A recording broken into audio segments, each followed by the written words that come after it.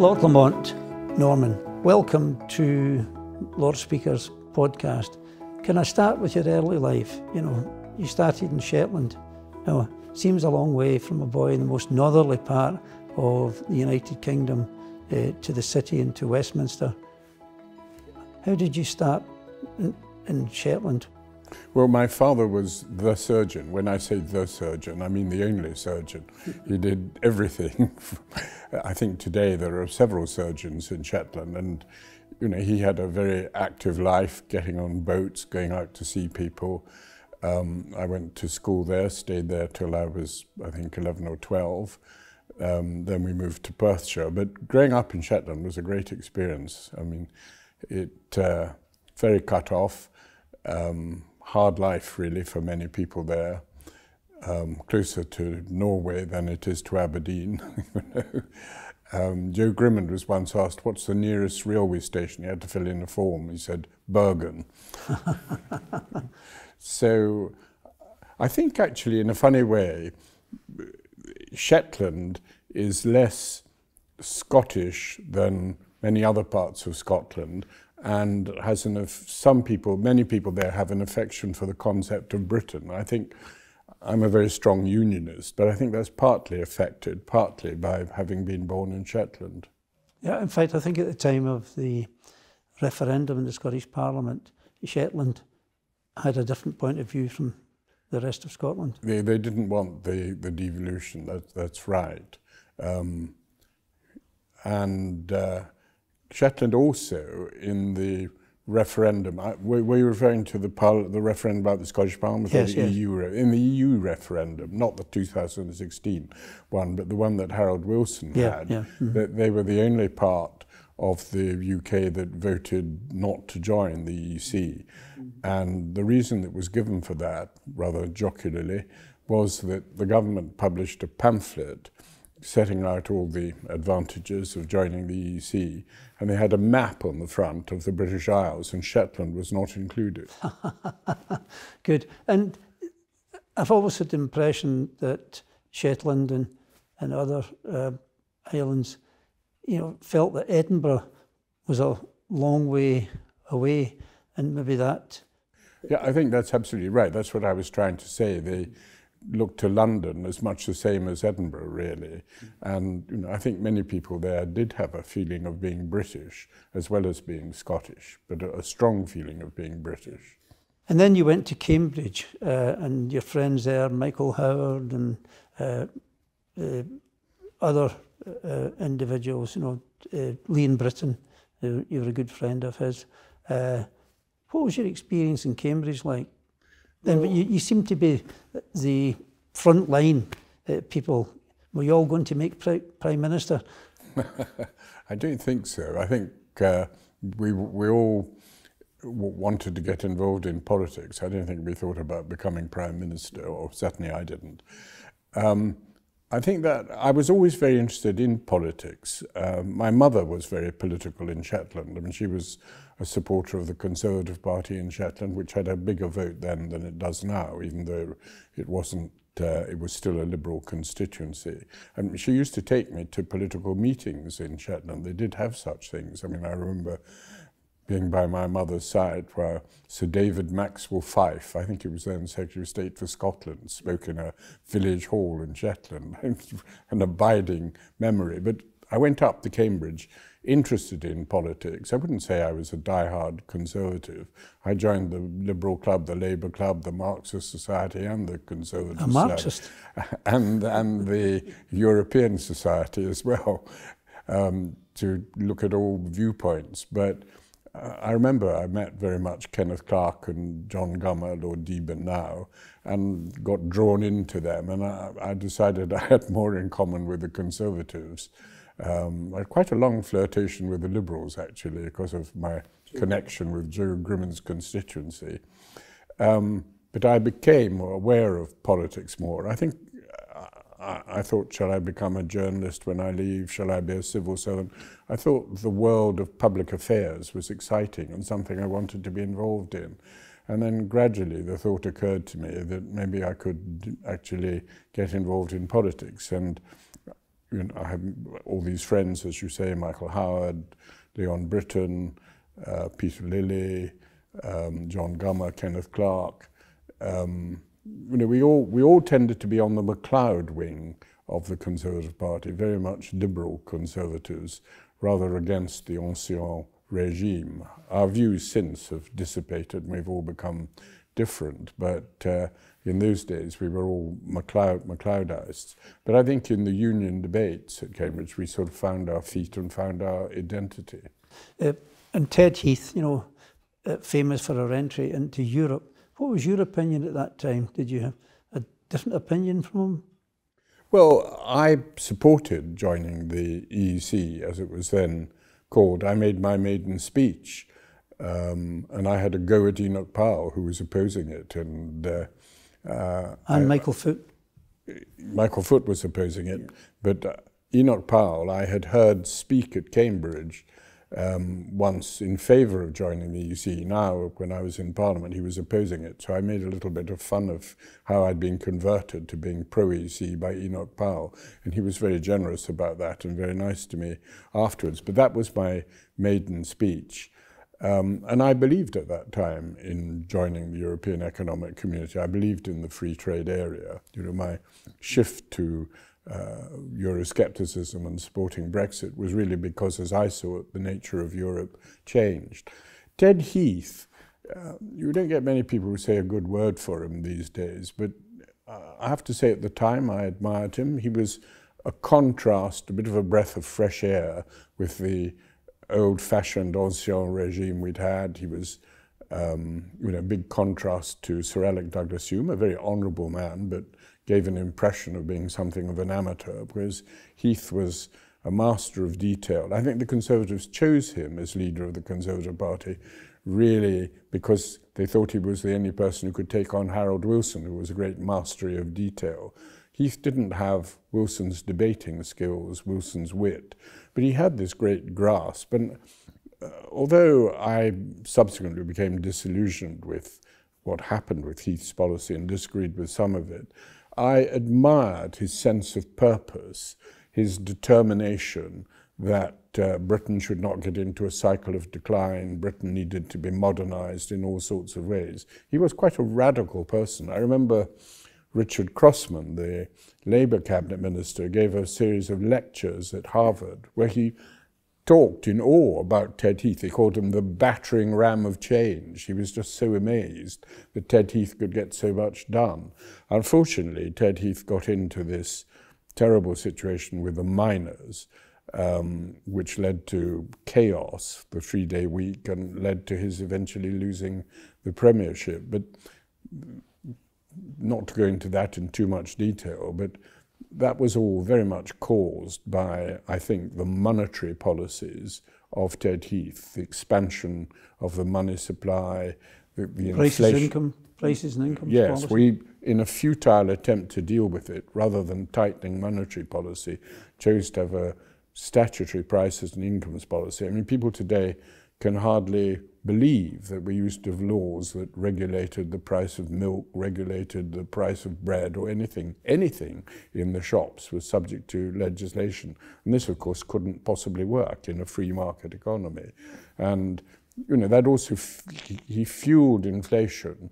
And, you know, although uh, I felt that the unions had to be tamed somewhat, in one sense, the unions were reacting to the inflation. Yeah, yeah. But you were the youngest MP. Uh, youngest Conservative. Conservative MP, 1972, if I remember. But your first contest was against John Prescott, uh, and obviously he won. What was it like uh, engaging with John Prescott at the time? Um, well, he was quite distant. Um, you know, I, I thought he was, to be honest, surprisingly edgy I mean, he beat me by a small, narrow majority of 24,000 votes, so he didn't have much to worry about. Um, but uh, I remember he kept denouncing me and wasn't very friendly at the count. But I subsequently got to know John a little in, in, in London and in the House, and I like him very much, and I respect him, and I think he was a, a very good MP who brought a lot to politics, and I can see why it was important to the Labour Party. I have a lot of respect for him. Yeah, there is a lot of respect for him. It, you then joined the Treasury, I think, in 1986, and you were there for about seven years, uh, and you had a close engagement with Nigel Lawson. Sadly, he just died recently. Give us a feel uh, for that engagement and what you learned from Nigel Lawson. Uh, well, I'd known Nigel Lawson really ever since I left university. I joined a political club that he was a member of in London. I'd got to know him over political dinners. And also, I worked for a while before I became an MP in the Conservative Research Depart Department. And Nigel was working there, so rather part time, I think. I think it was while he was also editor of The Spectator, but he was speech writing, first for Alec Douglas Home and then for Ted Heath. And I, I got to know him then. I also got to know Nigel in, in a strange way. I was in competition with him to be the Conservative candidate for the constituency of Blaby for the 1974 election. And this selection took place in 1972. And the shortlist for the constituency was Nigel and me. And the selection committee, very wisely, I'm sure, absolutely wisely, chose Nigel instead of me. But I got into the House of Commons before Nigel because a few weeks later I got picked for a by-election in 1972. And Nigel sent me a charming postcard saying, I'm so pleased I did you a wonderful favour by defeating you.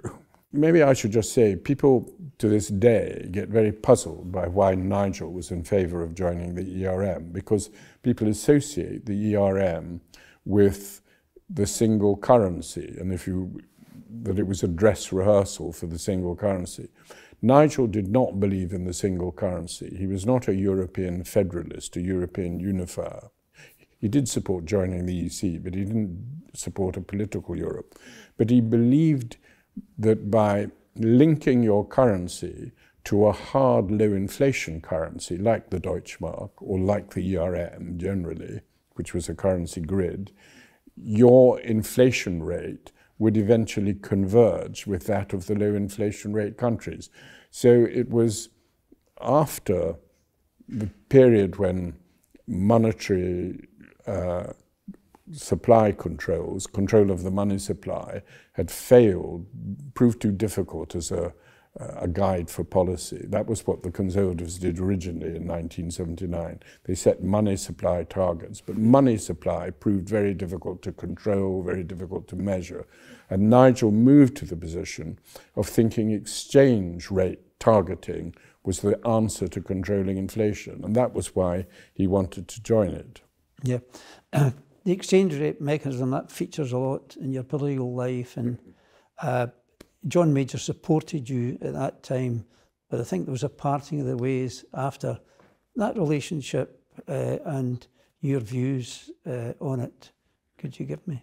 Yeah, well, the exchange rate mechanism, the fixed exchange rate system, uh, it was John Major as Chancellor who joined. I, I played no part in it. I most people seem to think I invented it. Um, uh, you know, and I carried out the policy. Actually, when Nigel resigned, I was asked in the House of Commons by Giles Brandreth at question time, why haven't you resigned at the same time as Nigel Lawson? And I replied to him, because I don't believe in joining the ERM. Well, that was a rather ironic thing, because I became the Chancellor of the Exchequer eventually, who had to implement our policy of being in the ERM. Um, you, you merely need today to mention the word ERM to Conservative MPs and you get a shudder. They think it's all. But actually, uh, although I personally would not have joined the ERM, and although I personally didn't think it was a disaster when we had to leave, uh, I think the period we were in the ERM for two years did actually do the economy a huge amount of good. It did precisely what Nigel Lawson uh, had thought it would do. It lowered inflation very dramatically. I mean, when I became Chancellor of the Exchequer, on the day I became, inflation was nearly 11%. Shortly after I left, inflation came down to 2 or 3%. It, it was painful, it was uh, tough medicine, but it really worked. And the period after we left the ERM, the period after I was Chancellor, ushered in the longest period of growth. I think there were 60 quarters of positive growth. Now, a lot of Conservative MPs mistakenly say, oh, that's because the pound was devalued. It wasn't just because the pound was devalued. It was because interest rates came, came down and inflation was now super competitive. We had inflation below the level of Germany for the first time for many years. And that was why we had this long boom, the main beneficiary of which was uh, Gordon Brown and Tony Blair. But when Conservatives say the ERM was a disaster, I think it was a political disaster. It was a great humiliation. But we would never have had the growth that we subsequently had if we hadn't actually had the discipline of being in. But it was a good thing we got out because it couldn't have gone on forever. William and Hague, William Hague and I did a visit to Japan, just the two of us. And one morning uh, we went out running together, and he said to me, interest rates are 8%.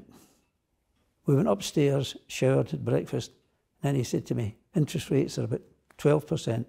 He says, given that I'm the PPS uh, to the Chancellor, do you think I should fly back? I said, I think that'd be a good idea uh, as a result of that. And it, it, that was a really uh, turbulent time. What was it like being in a room at that time? Because your memory and that has still. Well, you're fresh. going back to the ERM. Yeah. Um, well, it, it's a complicated story, but you know, I, people often say, "What was it like? What did you think?" I didn't have time to think about it. I just had to do what we had to do. Um, a, a, number of countries were under pressure in the same way, and they all put up interest rates. So we had to go. The, day started off, interest rates were 10, not 8, 10%. We put them up to 12. Um, and I said to John Major, the game's up. We will have to leave the ERM. But unfortunately, um, various cabinet ministers didn't agree. Douglas Hurd, Michael Heseltine, Kenneth Clarke, and they formed a committee with the Prime Minister, and they insisted really that I put interest rates up to 15%, which I didn't want to do. I said it'll have no effect. Anyway, in order to... You didn't, yeah. I, I put them up to 15% mm. and it had no effect, and then we put them down, down again. It, yeah. But it didn't look very pretty, and it was very stupid. You were derided for that at the time, but uh, some economic historians would say that uh, you gave birth to inflation tracking and public debt uh, element, and that's what was a catalyst for the, as you say, the economic situation which Tony Blair and Gordon Brown uh, ushered in. Yeah, well, I mean, thank you. I mean, uh, I'm well aware now opinion is swung a bit, bit, bit, not unanimously, but a bit back more in my favour, um, uh, or in favour of, of what actually happened. Um, after we left the ERM, I mean, we'd gone from control of the money supply to targeting the exchange rate. We had to have a new policy, and the policy which I introduced, I didn't invent it, it had already existed in New Zealand, was that of having an inflation target. I was a bit um, skeptical when we first introduced it because inflation targeting, which is targeting a specific rate of inflation, 2 to 4%, we introduced it, and then it became 2%. It's essentially backward looking. You're looking in the rear mirror. But uh, of course, when you're trying to fight inflation, you have to look forward as well. So I never abandoned looking at the money supply as well. When I introduced inflation targeting, I did at the same time argue and say that we should have regard to the money supply as well, which was more of a forward-looking indicator of that. But the amazing thing is that inflation targeting, until very recently, has worked extraordinarily well. I mean, people are, at this moment, uh, very critical of the Bank of England, and inflation has gone through the roof, but, you know, due to a lot of factors outside anybody's control. Um, but over the whole period since inflation targeting was introduced, the 2% target has been hit for most of that time. It's only recently it's gone astray. Well, your views on QE and the Bank of England and independence of the Bank of England. Give us your views on that. Well, I was very much influenced by Nigel um, and became strongly in favour of an independent Bank of England. And I don't wish to make a point against John Major, but he and I had some disagreements about interest rate policy.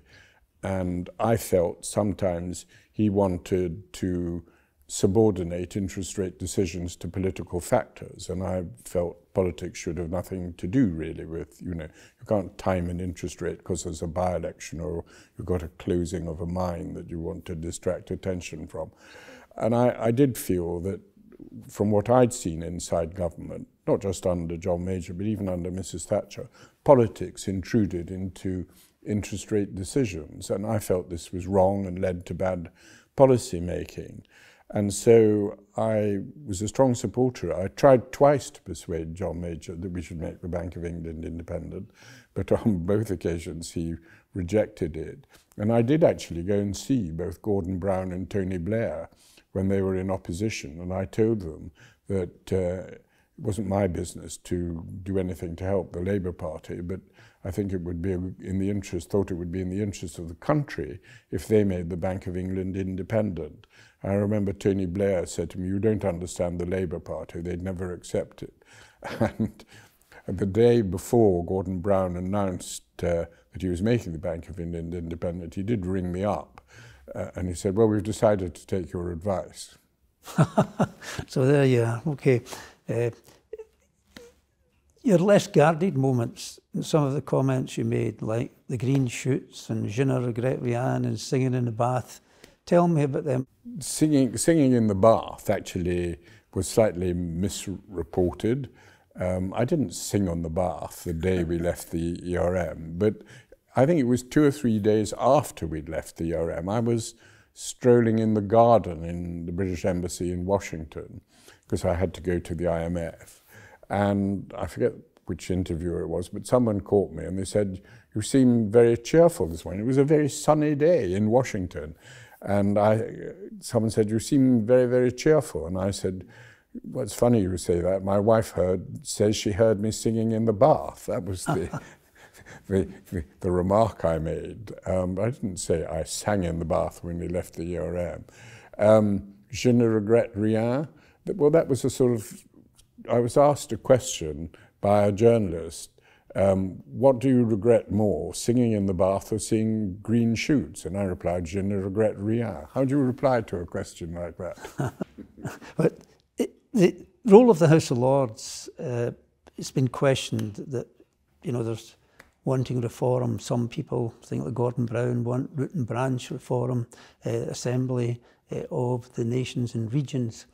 Uh, what merit does the House of Lords have with its present composition and the, the different membership from the House of Lords from the House of Commons? Well, I think the House of Lords is a reforming chamber and it is also a chamber of people of experience and expertise. And I think a second chamber is, I think, important. Uh, I know there are countries in the world that have unicameral one-chamber government, but I think the House of Commons doesn't always scrutinize legislation as carefully uh, as it should. And I think it's important to have proper scrutiny. I think the House of Lords does, does that well. Um, if we were starting from scratch, completely green field, I don't think one would design the House of Lords as it is today. I think ideally it would be 200, 300 very eminent experts, um, probably elected, and maybe on a regional basis. I don't mind about that. I think that's the Gordon Brown plan. But I don't think it's very easy to get there from where we are now. Mm -hmm. And I don't think that you know, all the talk about the House of Lords is too large. Optically, it does look too large, but you know as well as I do that in fact there are sort of 400 people or so who are yeah. here a lot of the time. Also, the people who come occasionally make a valuable contribution. I once had a very interesting remark from Mrs. Thatcher. Uh, I asked her, What do you think of the House of Lords? And she said, I think those who come the least often make the best contribution. and, you know, if you think of somebody like Lord Browne of Madingley or the Astronomer Royal, who come occasionally and make very outstanding speeches of great expertise. I, I, think there is a role for them. But you know, people look at this theoretically very large number. I personally thought the scheme that was introduced by your predecessor and was observed by Theresa May of gradually reducing yeah. the numbers, I personally thought that was very sensible. I strongly supported.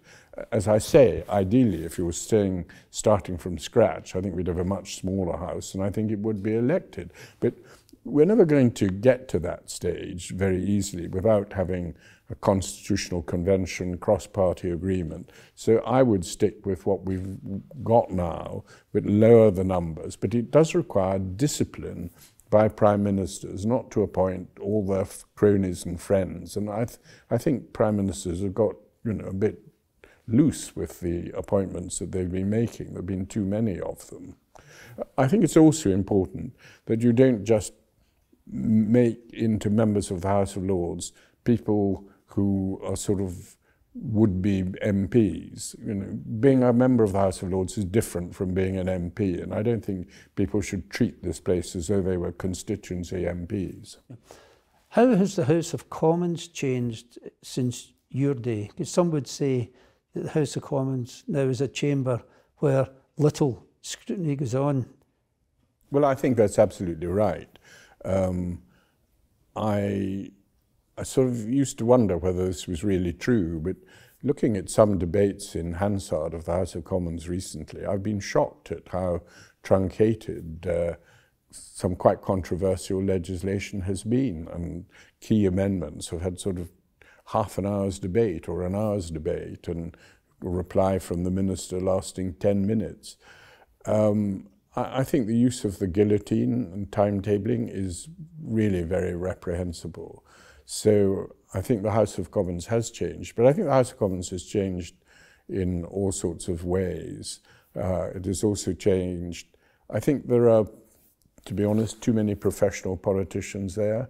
And when I got into the House in 1972, I think the, I would guess the average age of the House was much older, and there were people who'd served in the war people who uh, didn't necessarily have an ambition to be a minister, were content to be a constituency MP and do their service to the, the country. And it was a more stable assembly, really. I, I think in many ways politics become more volatile, more unstable in the House of Commons, and it's not always an attractive sight. You're a really strong proponent of Brexit. I've mentioned earlier you, were an early uh, person in that area. But I get the feeling from what you said, engaging with Tony Blair and, and Gordon Brown, John Smith, uh, and others, that you're reaching out now. And I was quite struck by the initiative you undertook at Ditchley Park, uh, where Peter Mandelson and others were there what was the reason for that, given we've got Brexit? Was it to ensure that Brexit worked and political parties came together? Well, the, the invitation, I, I, as I understand it, the whole thing was the idea of Peter Mandelson. I mean, I was invited by Ditchley to go to this gathering to uh, discuss Brexit and the future relationship. But it, it didn't, I wasn't advocating uh, any modification of the trade and cooperation agreement or modification of Brexit. What I strongly believe in, I mean, I believe in Brexit strongly, but I believe that we should have a strong, harmonious relationship with the EU as a third party. Um, and I think that's perfectly possible. And I think the fact of Brexit, the fact that it happened, you know, caused a lot of angst and a lot of bitterness and you know, there are people within the EU who, I mean, Donald Tusk was reported as saying there was a special place in hell for those who voted for Brexit. I think we've got to overcome this and work together. And I believe that even though we're an independent nation state and a third party to the EU, there are areas like foreign and security policy where Britain can play a leading part in the continent of Europe. Our security concerns are shared with the EU. Britain played a leading part. Uh, I think one of the benefits of Brexit was the greater agility we have in foreign policy. We were able to act more quickly and send arms more quickly while France and Germany were agonizing over this and agonizing within the EU. The EU eventually got its act together, mm. but 27 countries, it inevitably took a, a lot longer. And uh, I read the other day, uh, someone in Brussels said, well, if, if Ukraine had been relying on the EU, the Russians would have been marching all over. Britain was the first off the mark. But, all I wanted at that gathering at Ditchley was to explore different ways in which we could um, improve our relationship, show that we were friendly, that we want to have partnerships in all sorts of areas like Horizon, for example. That, that's all it was about. All it was about. Can I just say, for me, Brexit was not really about economics. It was about sovereignty. It was about independence of this country. I mean, while I was Chancellor, I negotiated our opt-out from the single currency. And I lived through this whole thing, and I saw how you, the nature of Europe was changing. And before I think I became a minister, I believed this was all rhetoric. It wouldn't really happen. All this stuff about a United States of Europe, a political union. But my experience as a minister was that they were deadly serious about this and wanted it to happen. And we were going to become more and more politically integrated. And that would undermine our democracy at home.